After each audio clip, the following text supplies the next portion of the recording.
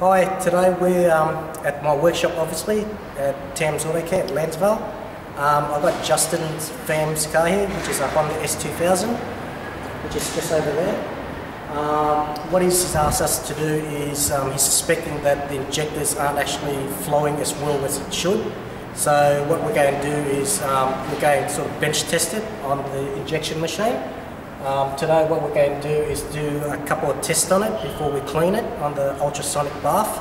Um, the first test we're going to do is do a hold and open test um, and then follow on by a leakage test okay and then we'll slowly um, open and flow test and pulse it so ready to go. So the first step we're going to do is just of course we already hooked it all up okay so we're going to just switch it on adjust our pressure regulator. Okay, I'm running about two, three bars. As you guys can see, right, the spray pattern that's coming out, it's quite good. Okay, you can actually see how it's actually directing the spray pattern, which is pretty much how it's supposed to look like.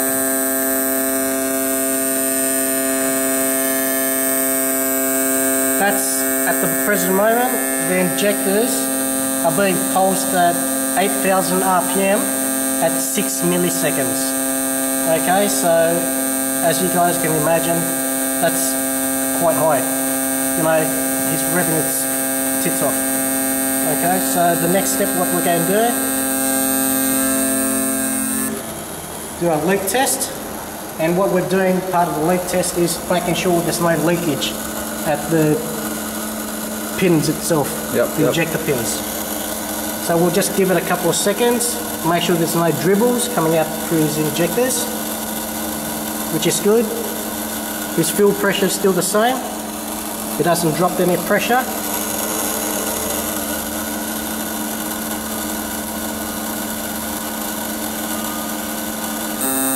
Okay, so now we can stop the machine.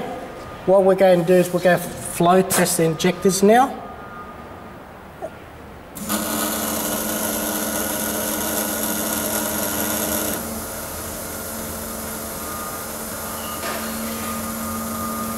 What we're looking for is at the same time as the spray pattern and also the amount of fluid that's actually coming out. We need to measure it and make sure they're all the same. Right, so we'll just let it settle. As you guys can see, it's roughly about 110 mil. So that tells me they're all okay.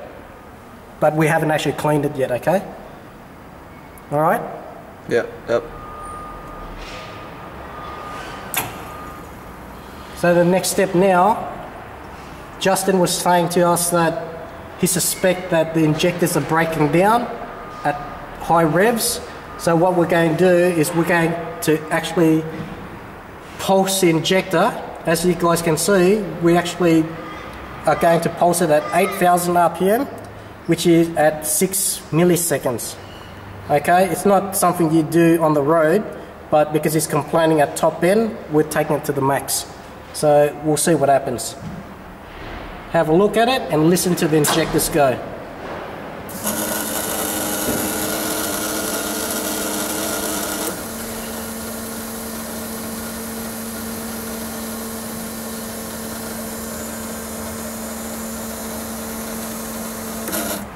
Just pause it for a second.